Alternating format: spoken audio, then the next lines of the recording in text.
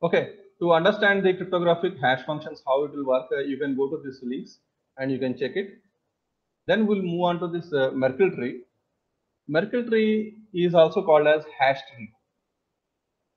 We have seen in the data structures like a linked list.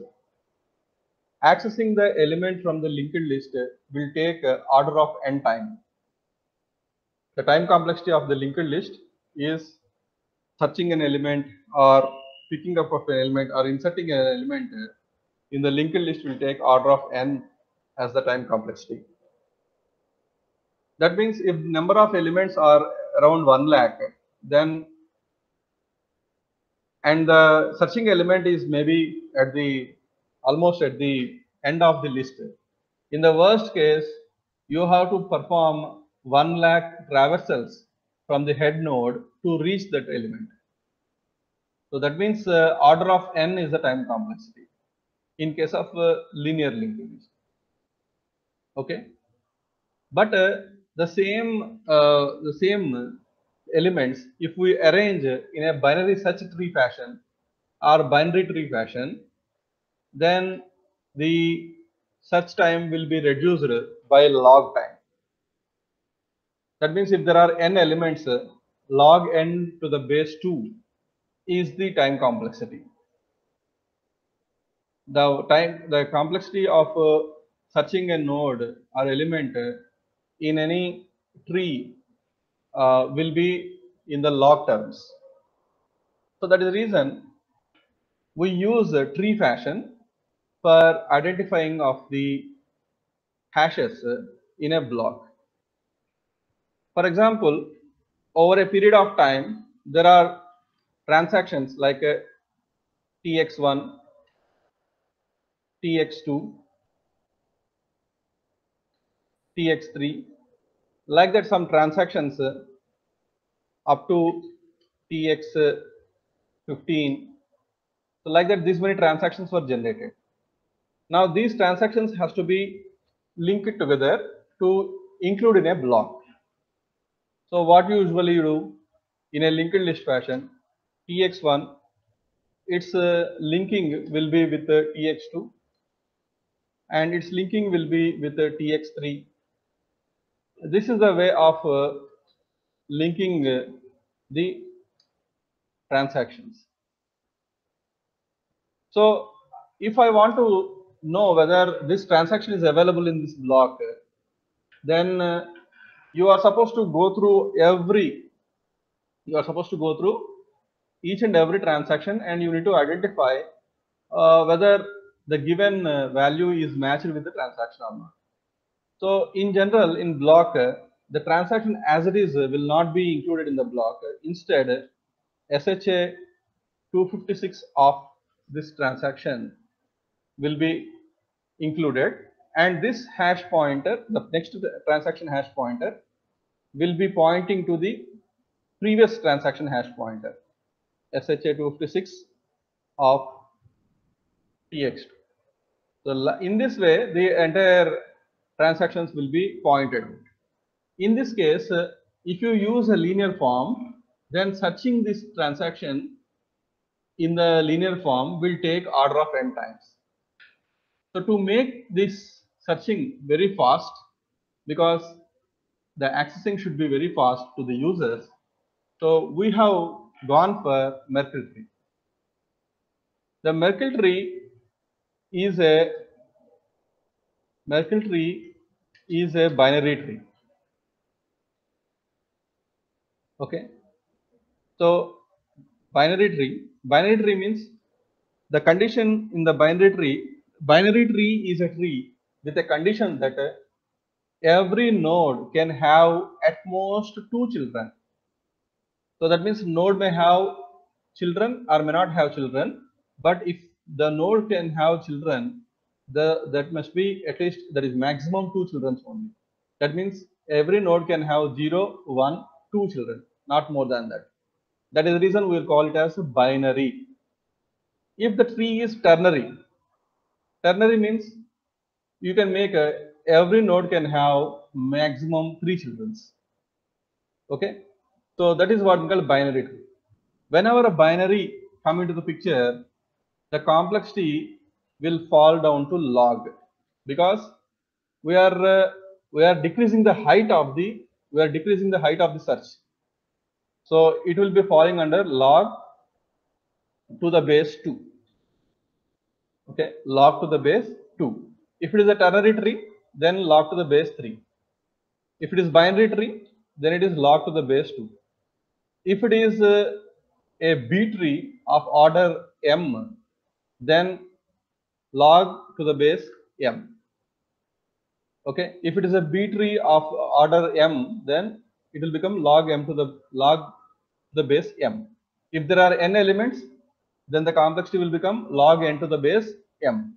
Like this, in a binary tree, if there are n elements, the complexity will become log n to the base 2 because maximum 2 children per node. So thereby we will decrease the height of the search. So Merkle tree is a binary tree.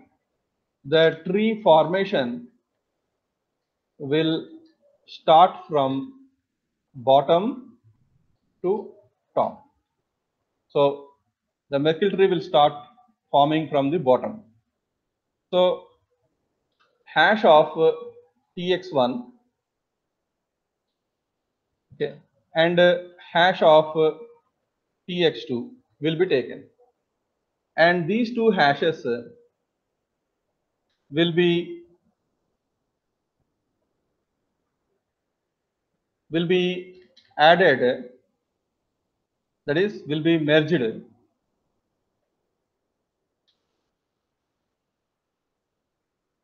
and uh, we'll make it as parent node hash of uh, tx1 okay. Hash of tx1 with the hash of uh, tx okay. This this one is entire hash. So these two hashes are combined. So these two hashes are combined. So this is hash value not a, a not really a transaction. It's a hash of the transaction and is also hash of the transaction. Whatever the hash value you will get these two hash values are combined. Again hashed. So what is the hash function you use? The hash function you use is SHA-256 now now if i want to if i have this particular root okay this is said to be root and this is said to be child now if i have the root then i can easily say that uh, whether the any of this transaction was disturbed or not. The reason is if any transaction is disturbed automatically the root will also be disturbed. Clear so that is the reason if uh, this thing is disturbed, then the root will also be disturbed. Like that.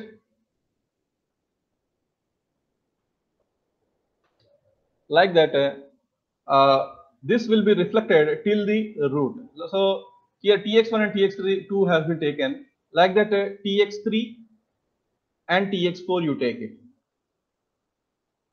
Okay, tx3 and tx4 you take it and again form the root. So here assume here this is tx3 and uh, tx4. So perform the hash of tx3 and tx4. Now we have got the root for tx1 and tx2 and we have got the root for tx3 and tx4.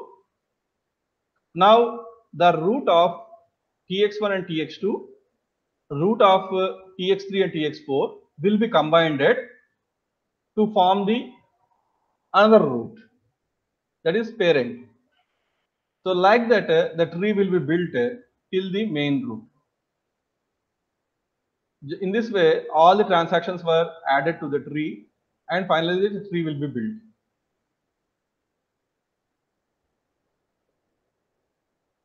So the Merkle tree is a collision resistant hash function denoted by MHT that takes n inputs x1, x2 and so on xn and output a Merkle tree Merkle root hash h is equal to mst of x1 x2 and so on n. A verifier who only has the root hash h can give xi and an associated Merkle proof which convinces them that uh, xi was the ith input used in the to compute the h. See here, the hash h1 is equal to h of the function 1. Assume that this is the transaction 1. Transaction 2, these two hashes are combined and make it as h1 comma 2. Like this, this is the transaction 3, this is transaction 4. These two are combined and we got h of uh, 3 and 4. Now 1 and 2 hash 3 and 4 hash was combined and made it as okay h1 4 because the the these two combined and will got this one. Like this uh, transaction 5 6 7 8 like this. Now if i want to search for transaction 8 i no need to search this entire tree this half of the tree can be eliminated because we got uh, the least element as 1 okay at the left hand side. And the maximum transaction that we have included is 8 uh, which is at the rightmost side. So if i want to search for 8 uh, i no need to go to the left side because it was labeled as 1 comma 8 here. So half of the tree i can eliminate. So when i have eliminated half of the tree then if there are n elements uh, obviously n by 2 was removed so only i need to go for searching in the n by 2 only so in this n by 2, again, if I go to the next child, I found that h5 comma 8 is the label. That means five, fifth element is the leftmost element in this particular uh, uh, path, and 8 uh, that is transaction 8 is the rightmost element in this path. So I can entirely half, I can remove this. That means now in this n by 2, I can remove half. That means only n by 4 I can search. I have supposed to search. And while I'm coming to this root, uh, H7 and 8. So 7 is the leftmost element and uh, 8 is the leftmost. So I'm calling it as the element and here in the, in the case of Bitcoin and blockchain, uh, we'll, we'll consider as a transaction. Okay. So for convenience, I'm calling it as an element like that. You assume it as a transaction. So H of uh, F8. So that means within how many searches I got 8? So within 1, 2, 3, within three searches uh, i got the transaction 8 or element 8 that means even though you have eight elements within the three searches you got this element so that means if there are if there are n elements with uh, in general in with binary search tree okay with a log n with log n to the base 2. So that means log n to the base 2 means uh, we can find the search. Or we can find the node.